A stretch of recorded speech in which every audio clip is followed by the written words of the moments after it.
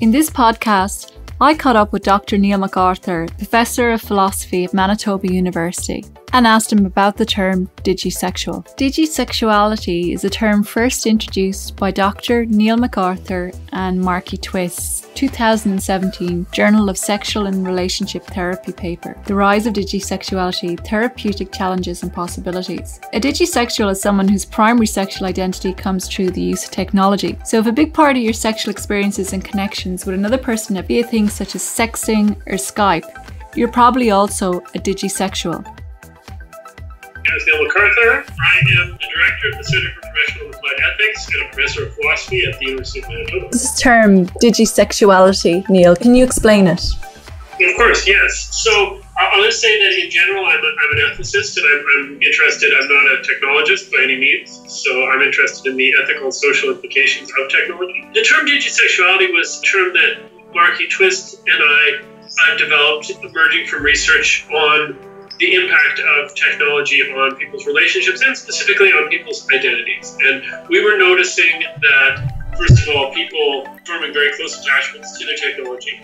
And secondly, we were also aware that there is a whole new generation of technology emerging, particularly immersive and intense in the experience it offers. And our view is that there will be people who will start to derive their primary sexual identity from their use of technology and use of sexual technology. So digisexuals are people who see technology as essential to their sexual experience and who don't see humans as essential to their sexual experience. It's not even necessarily a blended experience, it can be a completely digital one. That's right, it certainly can be. And I think we anticipate that the majority of people will integrate technology into human relationships, but we think there will be a small number of people uh, for whom the technology is itself enough. But my suspicion is it will be a small number, but nevertheless a significant number. So I, I think that when you look at other forms of alternative sexualities, whether it's kink or whatever, I mean, I, I, I often use the analogy of kink where, you know, lots of people are interested in it, lots of people dabble in it, I guess you'd say. But then there's a core group of people, of course, set of the population who see it as their primary sexual experience. And our speculation is pretty ungrounded, but I sort of anticipating maybe you'll see two or three percent of the population who identify as digisexuals. So the percentage is just like in well, we have all these subcultures also without digitization. Exactly, and so when you look at how these identities emerge and how they spread and what their rough prevalence is, I think you can.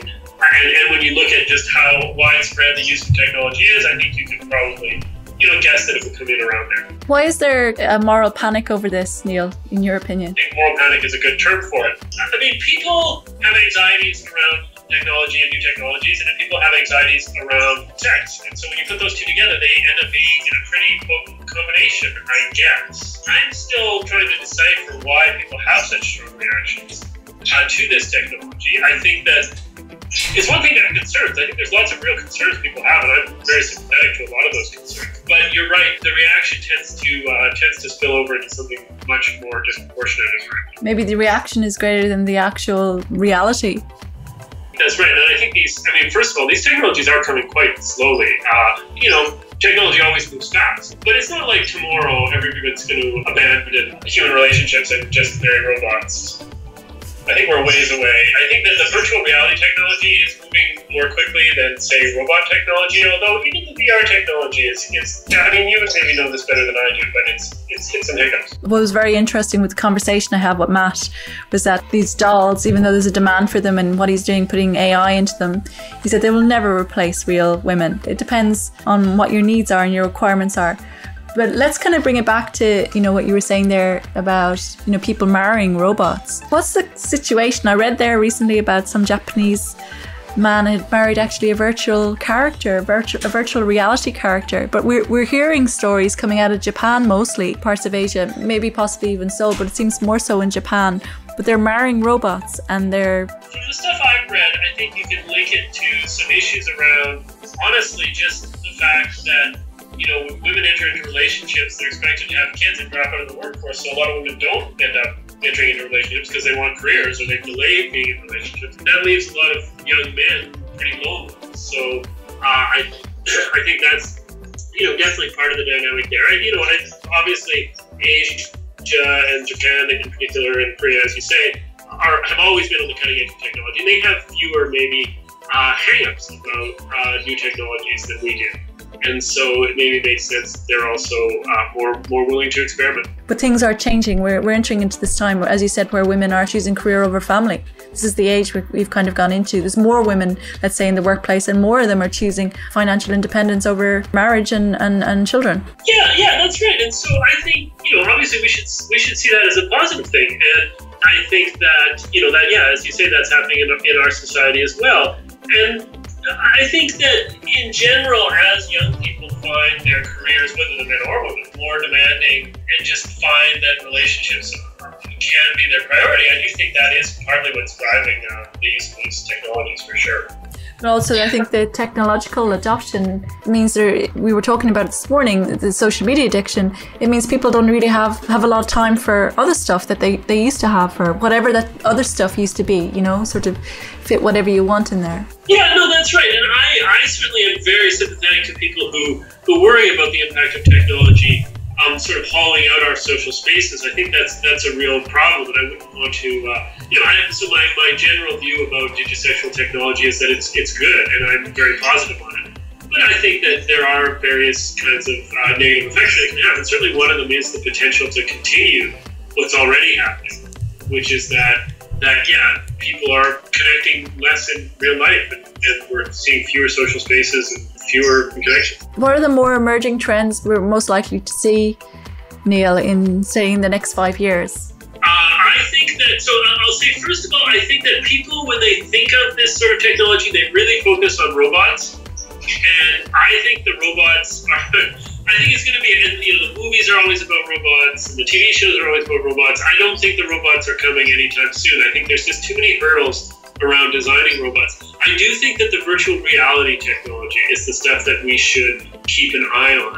And the, the one, the part of it that interests me, I mean, there's virtual reality porn, and it's honestly not very interesting. The virtual reality that interests me is these uh, sort of group spaces, I guess you'd say, various kinds of multi-user environments where people can interact and can now interact sexually. I think that I think that that's probably going to be uh, something that will happen fairly quickly and develop fairly quickly. And whether and it will probably happen in conjunction with uh, you may know the term teledildonics, these sort of haptic feedback devices that you can buy that you can link to your virtual reality and uh, and experience physical sensations when you're in virtual reality. So I think that I think that's the trend to keep. With virtual reality, you're completely Im- immersed in the world. You're not sharing your your your body or your hormones with someone else.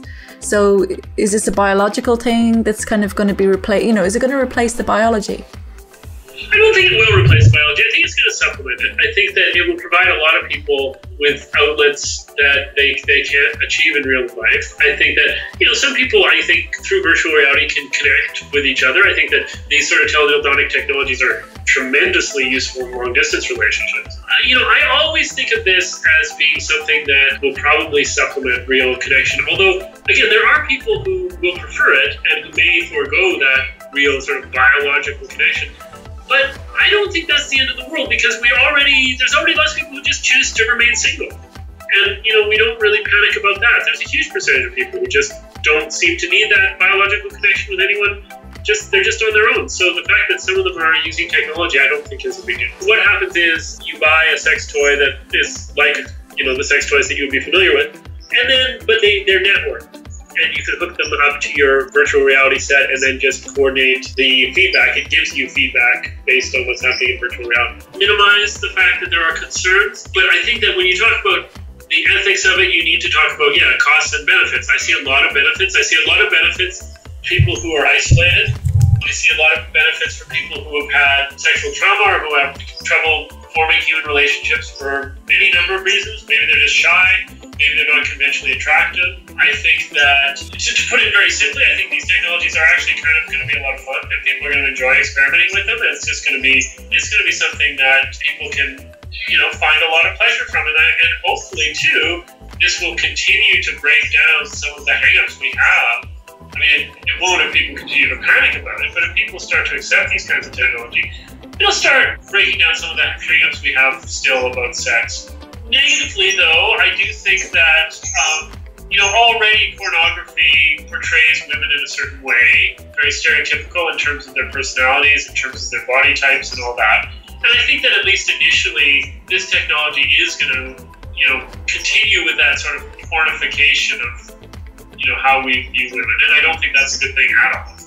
But I, I, I'm sort of optimistic that that will sort of fall to the wayside as people develop more interesting technologies. There's already lots of people who are trying to develop sexual technologies that don't just look like female porn bots. It's very interesting what, what you're saying, what you made about the pornification of women in particular, which isn't healthy. What we're seeing a huge impact on social media on mental health and especially on young girls. So I think it's I think it's very difficult when you're faced into this sort of unrealistic expectation from both young, you know, teenagers, both both guys and girls. This, in a way, what they're seeing online is making them sick, isn't it? It is absolutely, and you know, I mean, as I say, I think that you know, I don't think the newer technologies that I'm talking about are going to create that problem. I do think they could exacerbate it. Okay. Um, but I guess if you want to look at maybe a positive flip side, maybe this will finally be a wake up call that makes us really address some of these deeper issues around, you know, the expectations we have of women and what they should look like and how they should behave. Can I ask a question? I mean, obviously, the companies spend bazillions on the porn companies on re- research and tracking data, you know, and how long, you know, the, the data analytics. I mean, Pornhub in particular. If these companies also, they also they know exactly what they're doing, and they also know it makes women ill. So where are the ethics with these companies and who controls that? Because the genie, it's like Pandora's box. Now anything goes with pornography. Who calls the shots with these people? Who raps these people on the knuckles? Or are we just we are just all victims to it and we that's just it. We have to comply with our tech overlords who decide who are mostly coded and most of the stuff is done in Miami now. It's done by men for men. So why is it all there's a massive imbalance? How can we how can we rectify this? Is it going to be possible? That's my question. I think I don't think it's going to be easy for sure. I think that the response is always going to have to be to just develop better products. I think that the, the, companies that exist now have their business model and their culture, and I don't think they're probably going to change until society forces them to just by changes in preferences. But I do think, I mean, here's one thing I will say about sex tech it isn't dominated by any of the big companies that dominate other forms of technology because they're just afraid to enter this space. And so right now, in actually, although there are certainly a few big players, relatively speaking, there isn't the same kind of oligopolistic, whatever you'd say, you know, controlled by a small number of companies. There's a lot of room for innovation and a lot of room for new players to enter the market. One of the challenges is that they, these companies have is that it's just very, very hard to raise money. That they, the venture capitalists won't touch anything that's related to uh, sex tech and you know the the, uh, the big big trade shows are, are we've very capricious about who they allow to display, and so there isn't a support network for smaller, more innovative companies who are developing more interesting products. And so I think that if we could develop that kind of that kind of financial promotional infrastructure for some of these younger, more dynamic companies, then you would see more interesting technologies, and you would you wouldn't just see what the what the big pornography companies are producing. But isn't that a massive opportunity? It should be. It's a massive opportunity.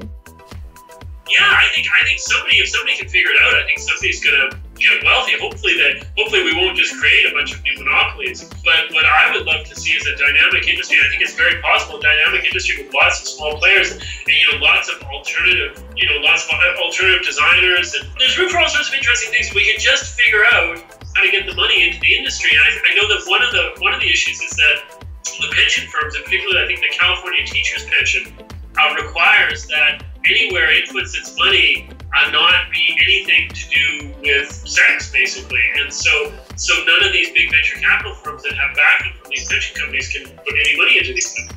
Of course, they all have pensions. they all have pension companies. Yeah, but still, there's there, there's a lot of room, for, as you said, for innovation and for women-driven companies and for a lot of new players to emerge in the space. You just need the right the right type of investors. I'm sure they're out there. They just need to group together. I think that's right. I think that's right. I think it just takes some some people to sort of make it happen within the industry. I, I don't understand, but I would love to see it happen because, as you say, I think there's. I mean, look. Here's one thing I will say. Already, uh, if you look at who uses sexual technology, that is to say, who uses sex toys, it's overwhelmingly women, and you know they're the market for sex toys. So all we need to do is get people to see that they are also potentially a huge, huge, huge part of the market for new sexual technology. And you will see companies that are led by women, that are designed by women, that are targeted. There you go now, listeners. There's a, there's a huge opportunity there. It's a massive area. The growing, I think the demographic group that's growing with the use of pornography also is women. Yeah, that's right. And, and I think that's that's because there's finally starting to be, you know, products that respond to their needs. That, that finally, it's sort of, a, I think, a virtuous circle is that finally some companies or some pornography producers are figuring out there's a market for something more than the crap, honestly, that they've been producing for decades. Yeah, it's a, it's. I suppose it's it's it, things take time to mature, and also people's sophisticated tastes also need to, to develop and emerge, don't they? That's true, but I also think the other big thing is one thing that affects women in particular is just stigma around some of this technology and around watching pornography and so on. And so I think you know one of the things I'm very interested in is how do we break down stigmas around sexual technology so that so that people, and in particular women, do feel comfortable using it. Do we start in school, Neil, or where, where does it begin? It's a good question. I think probably there is a role. I, I, think that one way or another, here's what I will say one way or another, sexual education in school is going to have to start really grappling with technology. And so, given that they're going to have to do that anyway, hopefully, yes, hopefully they can develop a, a sense that technology can be positive and, and you know promote some understanding around what counts as positive technologies and positive use of technologies. I think the broader culture can play a huge role too. I mean, I, I really, it's amazing to me how much television and uh, movies and so on that have been, and now, you know, Ian McEwan has a new novel, it's found its way into literature.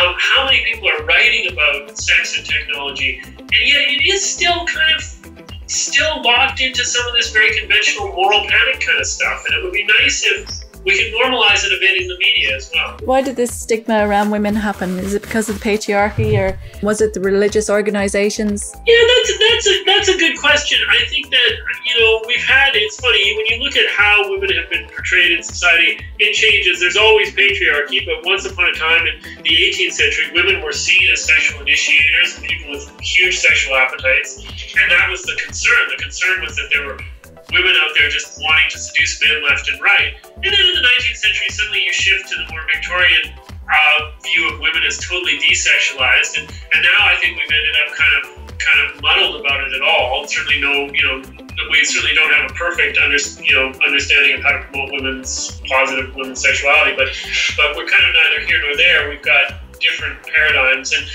I do think that as women have become more assertive in the workplace and in education and so on, it's, it's changed for the better, that's for sure. So wherever it came from, I do think it's breaking down, but I, that doesn't mean we need to be complacent. I think it still presents huge challenges. And as you say, I think the social media environment has really amped things up in a lot of ways. So it's really it's really a case of maybe time, Neil. I, I think so, although I don't think that it's going to happen accidentally. I think that we need to keep pushing for it. I think there's so many brave people who are out there trying to talk about sexuality or writing books about sexuality that are positive. I think the one thing you've seen in the last decade is sexualities and sexual identities that we would have once considered very weird or alternative starting to really emerge openly. I mean, not just gays and lesbians, but non monogamous people and kinky people are all sort of coming out of their own closets.